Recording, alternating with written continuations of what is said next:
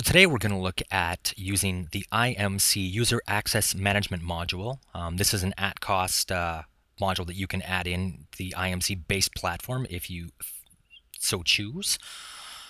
Um, and we're going to use that to do centralized device authentication with a Cisco router. Obviously, this will work with all your HP products and pretty much anything that supports uh, the Radius standards, which will give you centralized authentication and, more importantly, centralized logging, so you'll know who logged in so first thing I'm going to do is set up your Cisco router. So in this case, uh, we're just going to let Google do its magic and, and uh, do the Google technician thing. So no use figuring this out yourself when you can just Google it, right? Nobody needs to know anything anymore. Um, so funny enough, let's uh, let's go to the Scott Lowe of the VMware series, VMware books fame. Scott Lowe does, in fact, apparently know everything.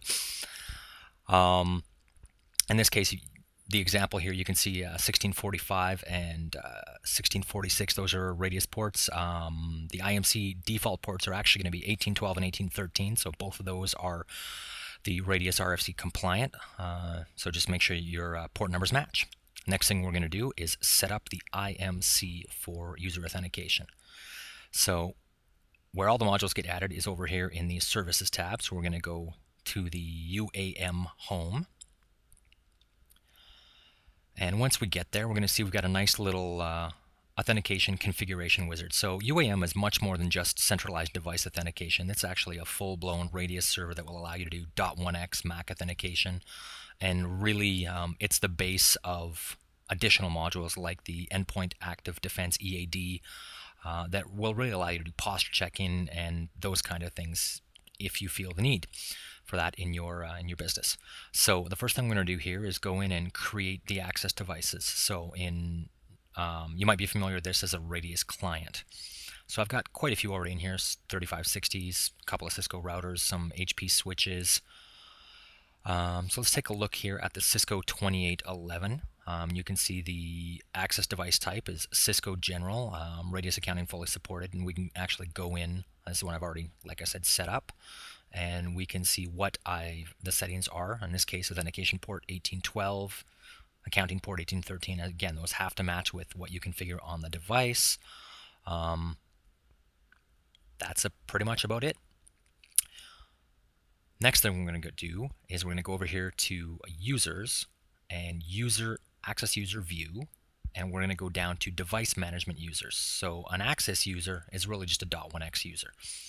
Um, a device management user, on the other hand, would be used for things like Telnet and SSH to log into the device. So they are two different kinds of users.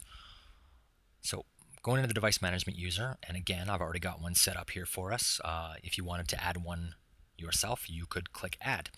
Um, best practice really is most organizations is to have a single user account per operator so you can go back and you can see who did what and when. So gives you the ability to have a centralized fashion and, and gives you auditability and accountability at the end hopefully if people aren't sharing passwords.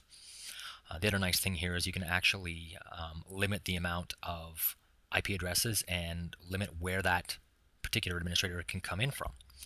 So now that we have uh, successfully created our, our administrator in this case um, modified it. Let's go and see how this actually works. So we're going to go over to a terminal here, and I'm going to telnet to the IP address of this router and type in my uh, admin account with the password. And look at that, I'm in a Cisco 2811, enable, there we go. We'll do a show run. Uh, let's pop through this a little bit. Um, see if there's anything interesting here. In this case, we can see the uh, there's a couple of the uh, AAA authentication, the AAA new model um, that was uh, in the Scott Lowe blog. And again, Cisco documentation is great for that as well. Um, however you choose to find that. So let's go and quit out of here. There we go. Let's shut this down. So the other important thing is to be able to go back and, and have some accountability, have some auditability. So built into this is also uh, log files, device management user. So I can go in here and see um, who's been doing what and look for failures. Maybe uh, there might have been a brute force attack that you might want to look at. Um, in this case, we can see somebody with the uh, username of root was trying to log into my switch, which just didn't work. And for the one we just created here, this admin account, again, we'll be able to go into here, go to the details, and look.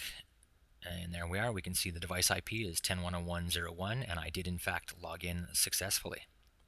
So that's it, guys. See you next time on the next IMC Management tutorial.